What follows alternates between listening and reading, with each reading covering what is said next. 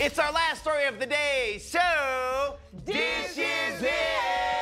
One very creative woman has come up with a solution for combating loneliness, Oh, y'all. Get ready. An Australian woman by the name Monique Jeremiah is renting out, get this, the other side of her bed What? to strangers oh. who are tired of sleeping alone. Aren't we all? That's right. For a little over $600 a month, you can join Monique in her bed as long as you respect her boundaries. Monique said this is perfect for single and lonely people, and she's even dubbed the term hot bedding as this business is doing very well. Oh. Who out here is hot bedding? That's I don't know. I might just do it on the side. Really?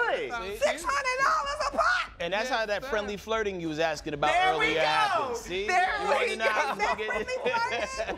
We just sleeping. Yeah, yeah, yeah. Yo, listen, like sometimes, you know, whether it's like voluntary or involuntary, as you sleep as a man, sometimes your antenna goes up. Oh, wow. And then, you know what I'm saying? Like, you don't, you don't know. That's cute, honey. I, I, I probably, I would love to do So something you like would rent out that. half your bed.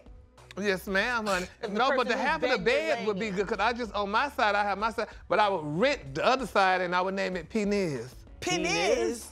What's that mean? Penis. No, stop, stop, stop right now.